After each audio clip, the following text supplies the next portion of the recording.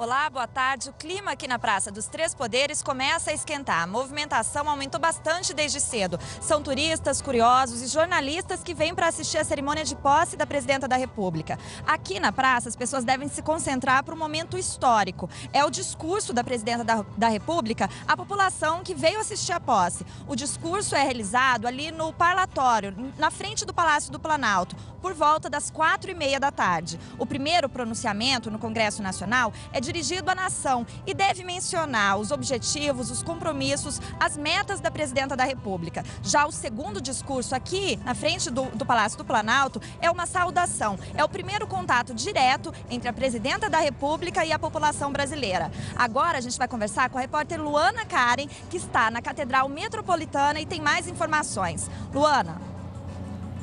Boa tarde, Carolina. Boa tarde a todos. A presidenta Dilma Rousseff deve chegar à Catedral de Brasília às 2h45 da tarde. Aqui, ela entra no Rolls Royce presidencial e segue para o Congresso Nacional, onde será empossada. E o Rolls Royce já virou um símbolo da posse de presidentes. O carro foi fabricado na Inglaterra em 1952 e hoje só participa de ocasiões muito especiais, como a posse de presidentes e o desfile de 7 de setembro. O primeiro presidente a usar o Rolls Royce foi Getúlio Vargas Vargas no dia 1 de maio de 1953, nas comemorações do Dia do Trabalhador.